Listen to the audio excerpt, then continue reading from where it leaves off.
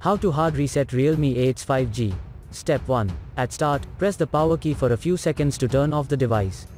Step 2. After that hold volume down and power button for a couple of seconds. Step 3. Let go of the power key when the Realme logo appears. For further detailed guide, please check the link in the description, there you will find further steps on how to hard reset your smartphone.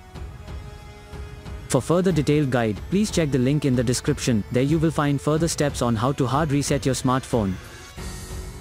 For further detailed guide, please check the link in the description, there you will find further steps on how to hard reset your smartphone.